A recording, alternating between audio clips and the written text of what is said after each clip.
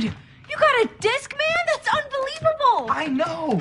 Look, it's so small and sleek and fits in the palm of both hands together. So how is it? Uh, it has some kinks. It skips a lot if you run with it, or walk, or breathe heavily. Negative thoughts also affect it. That's nuts. You're just listening wrong. Let me try. Oh wow, yeah, that's that's skipping. Just, just hold it steady. I can't. Guys, Try pressing it to your body. Stop skipping while I It'll stabilize. move. Oh, I got it. Ha! The trick is to fully extend your arm and hold it up as high as you can. yeah, this is awesome. Oh, no, no, it's skipping again.